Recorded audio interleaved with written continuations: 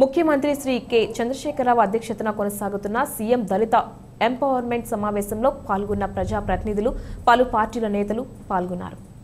ఈ కార్యక్రమంలో రాష్ట్ర ఎస్సీ అభివృద్ధి మైనారిటీ సంక్షేమం వయోవృద్ధుల సంక్షేమ శాఖ మంత్రి కొప్పుల ఈశ్వర్ మధుర ఎమ్మెల్యే కాంగ్రెస్ శాసనసభ పక్ష నేత మల్లు బట్టి విక్రమార్క మాజీ మంత్రి మోత్కుపల్లి నరసింహులు సిపిఐఎం రాష్ట్ర కార్యదర్శి తమ్మినేని వీరభద్రం సిపిఐ రాష్ట్ర కార్యదర్శి Chada Venkatreddy MIM party Yakutpura MLA Syed Ahmed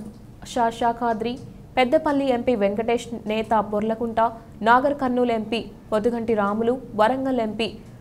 Pasunuri Dayakar Hyderabad స్థానిక సంస్థల ఎమ్మెల్సీ ఎంఎస్ ప్రభాకర్ రావు ఎమ్మెల్సీలు D Rajeshwararao Korati Venkanna Chennur MLA Balka Suman SC corporation vice chairman MD Karunakar SC అభివృద్ధి శాఖ additional director Umadevi GT Venkateswararao తదితరులు పాల్గొన్నారు.